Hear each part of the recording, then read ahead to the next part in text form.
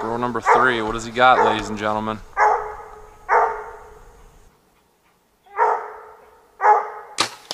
Oh, nailed him.